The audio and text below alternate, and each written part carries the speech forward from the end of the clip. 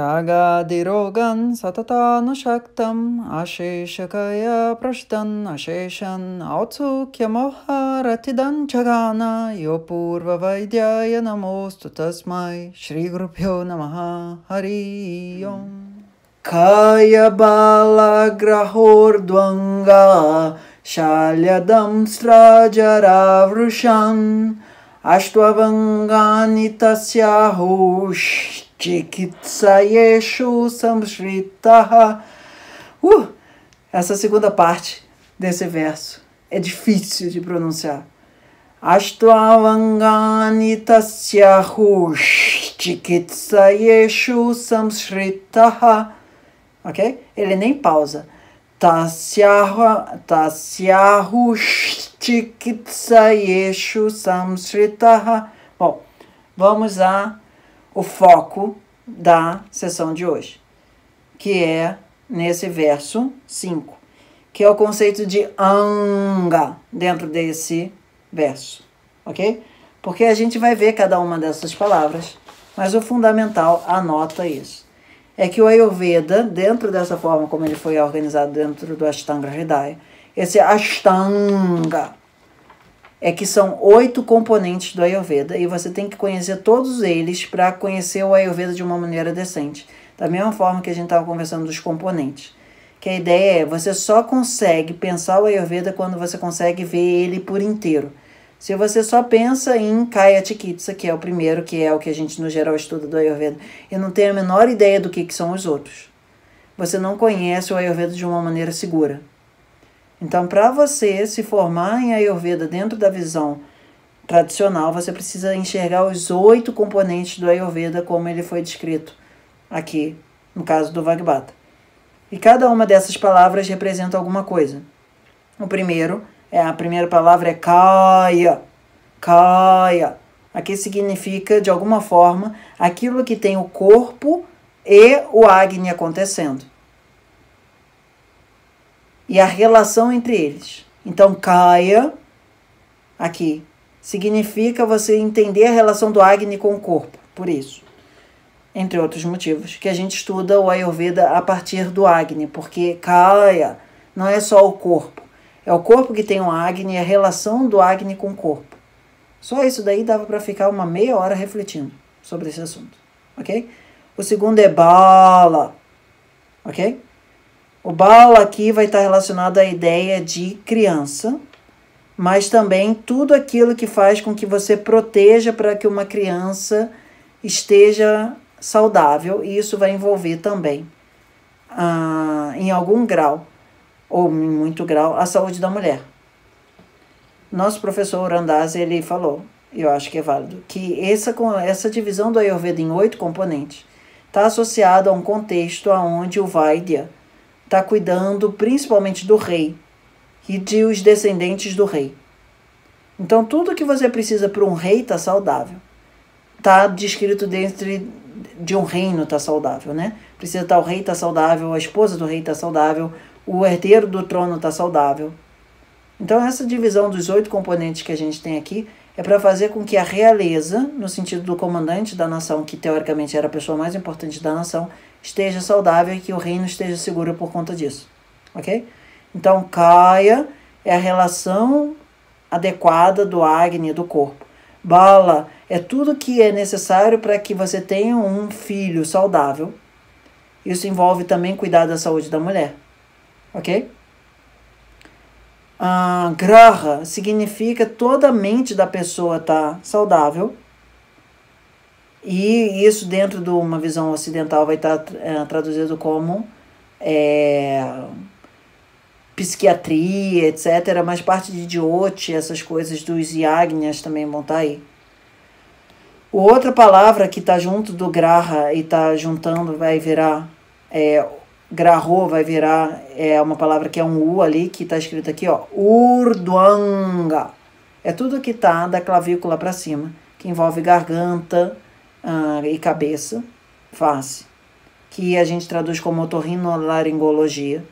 Mas, por exemplo, é, neurocirurgião, a parte química do cérebro também estaria dentro desse contexto, ok?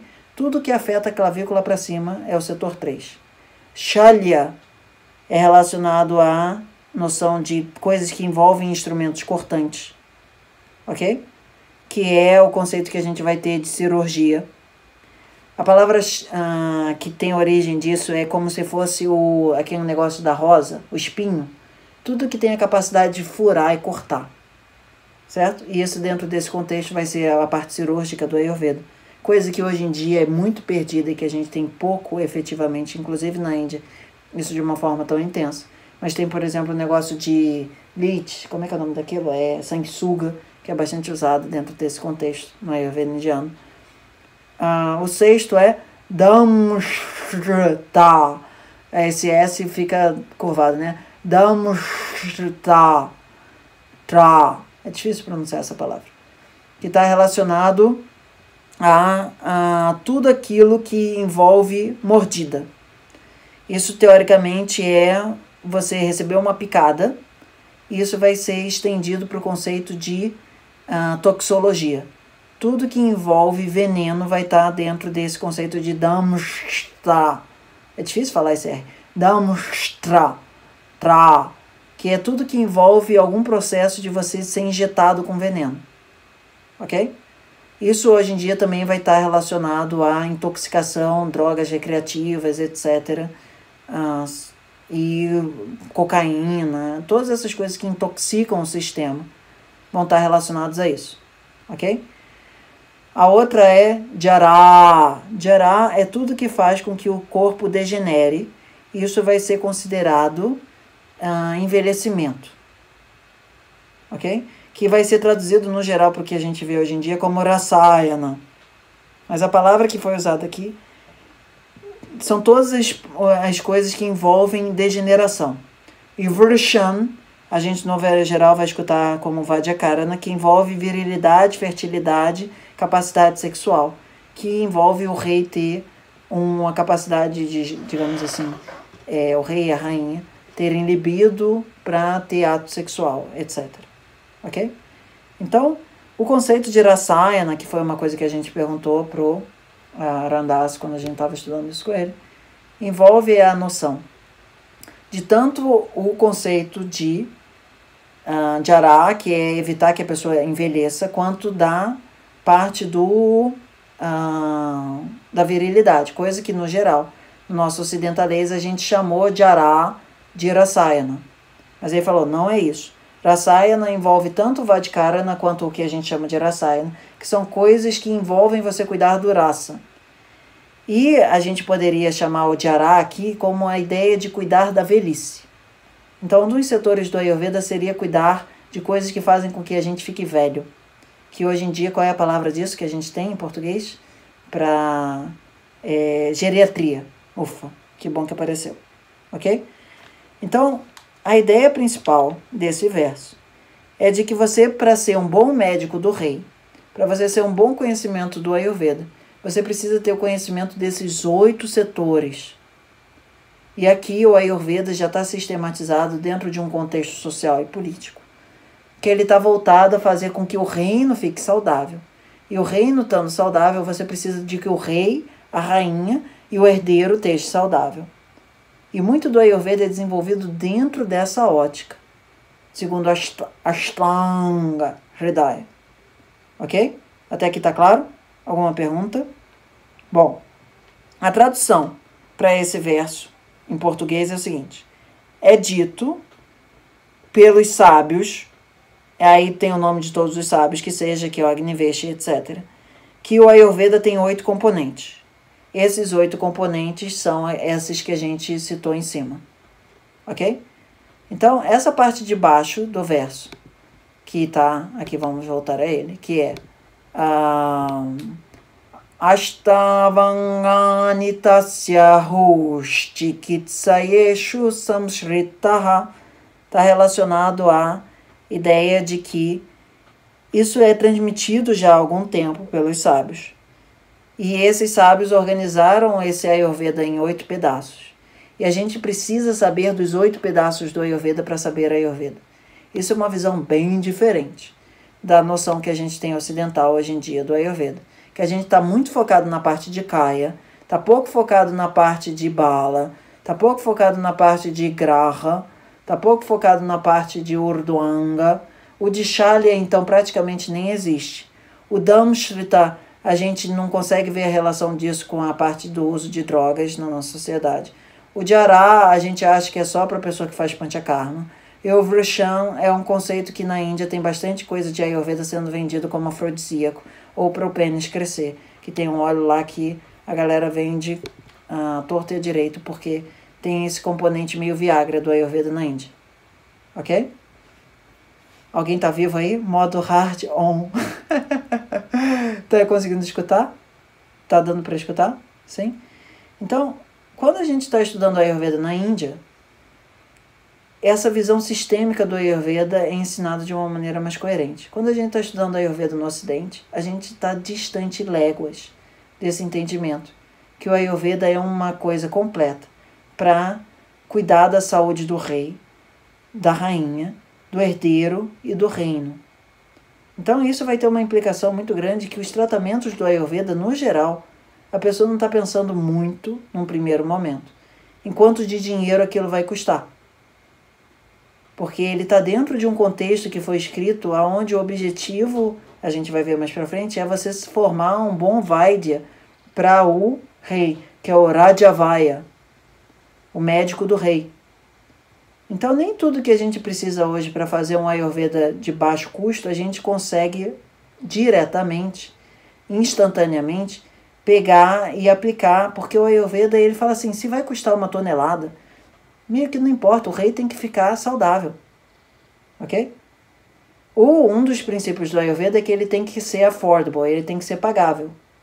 Mas é, é importante entender, enquanto a gente está lendo Ashtanga Hridaya, é que ele é uma forma de sistematizar o conhecimento do Ayurveda para que o rei esteja saudável, para que a rainha esteja saudável, para que os herdeiros estejam saudáveis para que o reino assim esteja saudável.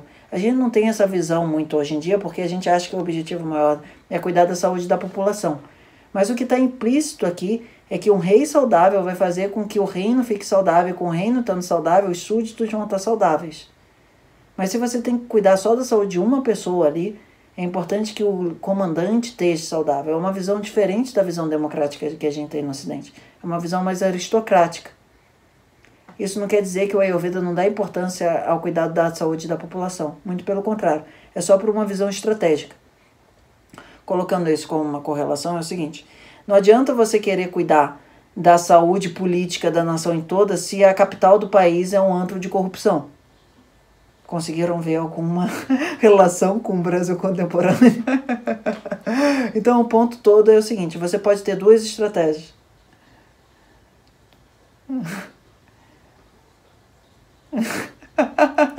então, a questão principal da gente é: a gente tem uma visão democrática, eu já te respondo isso, mas a visão democrática que a gente tem é: a gente tem que cuidar da saúde da população como um todo, para a população estar tá saudável.